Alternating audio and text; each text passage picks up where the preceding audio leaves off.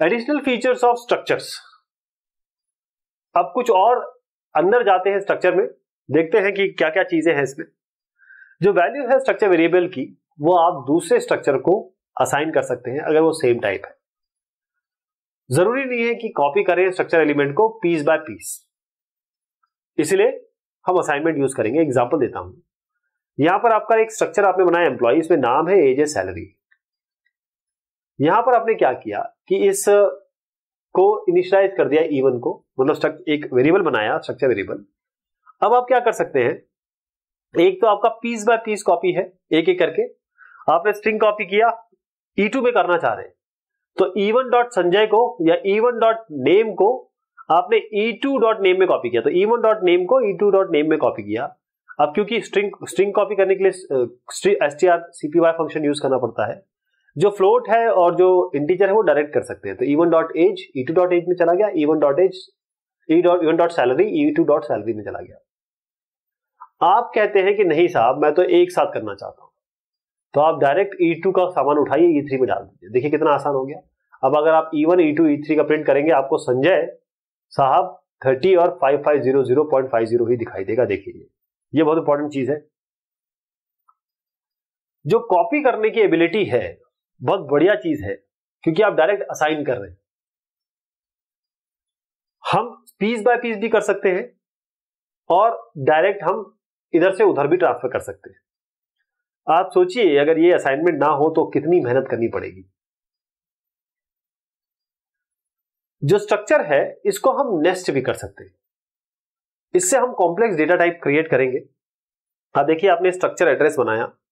अब आप कह रहे हैं कि हमारे पास एक और स्ट्रक्चर बनाइए एम्प्लॉय उसमें नाम देंगे और उसके अंदर ये एड्रेस ये जो स्ट्रक्चर है, वो हम यहाँ दे रहे हैं। यानी कि आपने कहा कि मैं एक स्ट्रक्चर बनाऊँगा और एक और स्ट्रक्चर बनाऊँगा, उसके अंदर इस स्ट्रक्चर को रख दूँगा। ये बिल्कुल बिल्कुल ही जायज़ है, इसको हम नेस्टेड स्ट्रक्चर्स कहते हैं।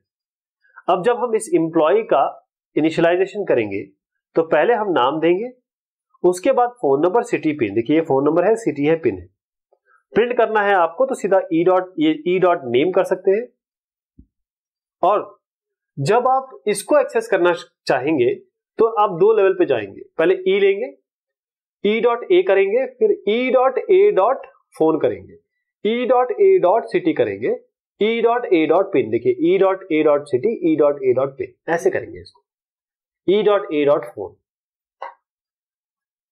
तो यहाँ पर आपका आउटपुट इस तरीके से आएगा। हमने क्या किया? दो लेवल पे गए, क्योंकि हमारा नेस्टिंग हो गई ना। एक नेस्टिंग मतलब एक के अंदर एक आ गया। तो बाहर जाने के लिए भी आपको लेवल यूज़ करना पड़ेगा। तो E dot A dot pin E dot A dot city ये आप लेवल पे जा रहे हैं। ऐसे बहुत अंदर तक जा सकते हैं। देखिए, जैसे एक एग्जांपल दे रहा हूँ, मारुति के इंजन में, के अंदर जो बोल्ट है, उसकी लार्ज में क्वांटिटी में जाएँगे आप। ये थोड़ा सा अंदर से बाहर की तरफ़ जा रहे हैं आप। नेस्टिंग है इसमें।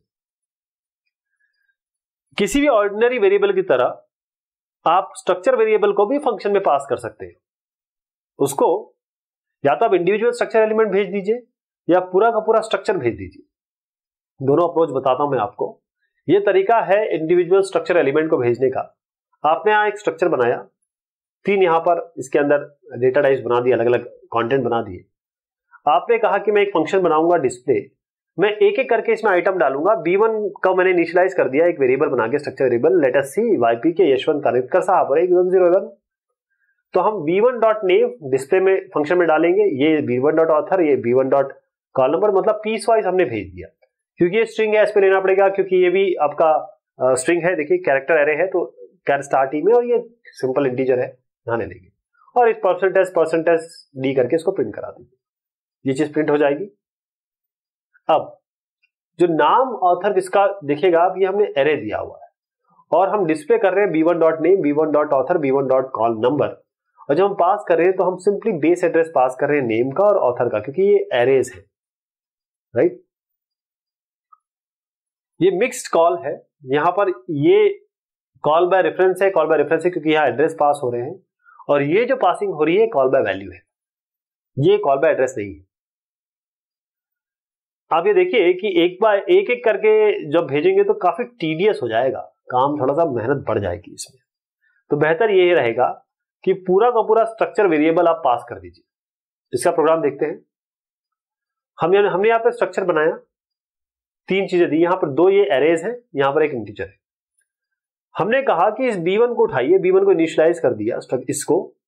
यहाँ पर इनिशियलाइज कर दिया इसके नाम को ऑथर को और कॉल नंबर को। और आपने कहा कि डिस्प्ले में हम B1 को पास कर देंगे, इसका एड्रेस पास कर लेंगे। यहाँ पर आप स्ट्रक्ट बुक बी में ले लेंगे और B dot name B dot author B dot call number से सीधा प्रिंट कर देंगे। कितना आसान हो गया। और कितना आपने देखा या ना तो ना तो परसेंट दिख रहा है, ना एम परसेंट दिख रहा है, कितने आसानी से पास हो गया है अब कॉल करना है डिस्प्ले को तो सिंपल इस तरीके से करिए B1 और यहाँ पर अपने जब B1 इनिशियलाइज किया, बस इसको, ये जो स्ट्रक बुक B1 किया, आपको केवल इसका अच्छा एक और चीज़ इसमें देखिएगा कि हमने जो स्ट्रक्चर है वो बाहर बनाया मेन के। बाहर बनाने का मतलब यह है कि अब ये जितने भी फ़ंक्शन इस में होंगे, इस प्रोग्राम में, उन सबको ये स्ट्रक्चर नोन हो जाएगा। अब पॉइंटर जिस तरीके से इंटीजर के लिए हो सकता है पॉइंटर कैरेक्टर के लिए हो सकता है, इस तरीके से पॉइंटर स्ट्रक्चर के लिए भी हो सकता है। इसको हम कहते हैं स्ट्रक्चर पॉइंटर्स एक प्रोग्राम आपको बताता हूँ। यहाँ पर स्ट्रक्चर है। इसको बनाया हमने, तीन चीज़ें दी। हमने कहा B1 को इनिशियलाइज कर दे। अब हम एक स्ट्रक्चर के लिए पॉइंटर ले रहे हैं। जैसे पॉइंटर इसको हम स्ट्रक्चर पॉइंटर कह रहे हैं। अब हमने क्या किया? इसका एड्रेस उठाया एम परसेंट बी और इस पीटीआर में डाल दिया। अब B1 से अगर एक्सेस करना है इसको नेम को तो B1 dot name B1 dot author और B1 डॉट कॉल नंबर ये तो हो जाएगा। अगर आप इस पॉइंटर से करना चाहते हैं तो पीटीआर एरो लगाना पड़ेगा। देखिए, ये एरो का साइन है।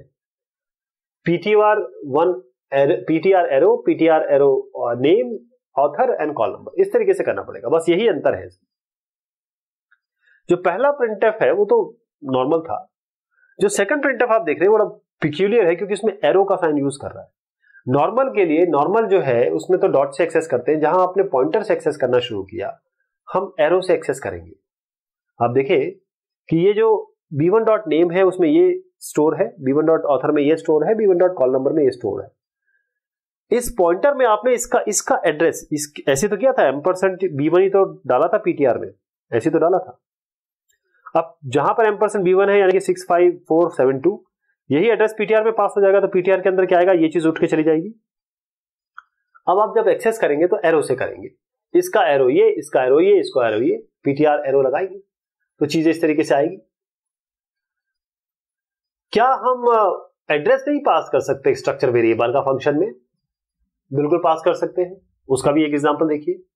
हमने मेन के ऊपर एक स्ट्रक्चर बनाया ताकि ये सारे फ़ंक्शन को नोन हो जाए, क्योंकि ये मेन फ़ंक्शन और डिस्प्ले फ़ंक्शन बाहर अलग अलग है। हम चाहते हैं ये स्ट्रक्चर दोनों को नोन हो। अगर हम ये स्ट्रक्चर इसी के अंदर दे देते मेन के अंदर तो ये केवल इस मेन को नोन होता डिस्प्ले को नोन नहीं होता। इसलिए हमने ये स्ट्रक्चर बाहर दे दिया। अब हमने इस B1 को इनिशियलाइज कर दिया, एक वेरिएबल बना के स्ट्रक्चर वेरिएबल को नाम दे दिया ऑथर दे दिया कॉल नंबर दे दिया। हम B1 का एड्रेस लेंगे एम परसेंट बी करके। और इसको पास कर देंगे इस डिस्प्ले में। अब जब हम एड्रेस पास कर रहे हैं तो हमें यहाँ पर पॉइंटर लेना पड़ेगा, जो कि पॉइंटर है स्ट्रक्चर पॉइंटर और हम बी के साथ कैसे एक्सेस करेंगे? B arrow name B arrow author और बी एरो कॉल नंबर तो ये आपका आउटपुट आ जाएगा। ध्यान रखिएगा, यहाँ पर भी हम एरो यूज़ कर रहे हैं इसको एक्सेस करने के लिए। जो स्ट्रक्चर है स्ट्रक्चर बुक उसको हमने बाहर डिक्लेयर इसलिए किया है, क्योंकि दो फ़ंक्शन अलग अलग है, दोनों एक्सेस करेंगे इसे। एक कोड देखिए यहाँ पर। हमने एक स्ट्रक्चर लिया, बनाया बल्कि ए सी एच और एस हमने कहा percent U percent U percent U यानी कि एड्रेस प्रिंट कराने की कोशिश की। यहाँ पर एक वेरिएबल बनाया ई डॉट ई बनाया और E dot A E dot C H E dot S अब देखेंगे कि अगर हम ये TC TC plus plus compiler में रन करेंगे तो हमारे पास कुछ इस तरीके से एड्रेस आएँगे। एड्रेस कुछ भी हो सकते हैं। जो मेमोरी है कैरेक्टर की, वो इंटीजर के बाद और फ्लोट की वो कैरेक्टर के बाद। तो 18 ये हो गया इंटीजर ये मतलब यहाँ से शुरू इंटीजर अब इंटीजर दो बाइट की जगह लेगा तो यहाँ पर 20 चले जाएँगे 18 और 20 में दो का डिफरेंस है। और जब 20 से इक्कीस मतलब जब इसकी तरफ़ आएँगे तो ये कैरेक्टर एक की जगह लेगा तो ये 20 से 21 एक की जगह लेगा। लेकिन हम अगर इस वीसी प्लस प्लस में इसी को रन कराएँ तो आउटपुट कुछ इस तरीके से आएगा। ये कोई भी नंबर हो सकते हैं। क्योंकि जो आउटपुट है, जो इसमें फ्लोट ये वाला फ्लोट कैरेक्टर के बाद स्टोर नहीं हो सकता बल्कि इसमें तीन बाइट का होल आएगा कैरेक्टर के बाद। रीजन क्या है इसका? VC plus plus thirty two bit compiler जो है, आजकल तो क्या सिक्सटी फोर बिट है। लेकिन इसको समझने के तौर पे समझिए, इसको 64 की तरह आप एलोंगेट कर सकते हैं। 32 बिट कंपाइलर है VC++ तो ये 32 बिट माइक्रो प्रोसेसर के लिए जनरेट करता है, जो कोड है। जो आर्किटेक्चर है माइक्रो प्रोसेसर का, वो इस तरीके से है कि वो एड्रेस के हिसाब से मल्टीपल ऑफ़ फोर में लेता है। तो VC++ कंपाइलर ये अलाइन करता है हर एक एलिमेंट जो आ रहा है स्ट्रक्चर का। उस एड्रेस के हिसाब से जो मल्टीपल फोर है। इसीलिए तीन होल देखेंगे जो कैरेक्टर ऑफ़ फ्लोट के बीच में आएँगे। ये थोड़ा ध्यान रखिएगा इस बात को। कुछ जो प्रोग्राम्स है वो बहुत अच्छा एक मेमोरी एरिया का कंट्रोल देते हैं। जैसे अगर हम कर, किसी बूट सेक्टर के के कंटेंट को रीड करना चाहते हैं जैसे हार्ड डिस्क के स्ट्रक्चर में। तो बाइट अरेंजमेंट उन स्ट्रक्चर एलिमेंट का वो मैच करना चाहिए, जो अरेंजमेंट है अलग अलग फ़ील्ड जो बूट सेक्टर में है डिस्क के। तो ये हैश प्री प्रोसेसर डायरेक्टिव है प्रैग्मा पैक ये एक बहुत अच्छा तरीका है जो ये आपको देता है। ये डायरेक्टिव आपको समझाता है कि जो अलाइनमेंट हो पैकिंग ये जो आप बीच में होल्स बन रहे हैं, ये ना हो। तो ये आप इनके बीच में टर्बो सी प्लस प्लस क्योंकि ये कुछ फीचर है, इसमें नहीं मिलेंगे, आपको वी सी प्लस प्लस में ज़रूर मिलेंगे। कैसे इस डायरेक्टिव को यूज़ करना है ताकि पैकिंग करें, बीच में होल ना मिले। यहाँ पर हैश प्रैग्मा पैक वन कर दीजिए और यहाँ पर हैश प्रैग्मा पैक और फिर आप जब करेंगे तो आप प्रॉपर इसके मेमोरी देखेंगे जो जैसी आनी चाहिए।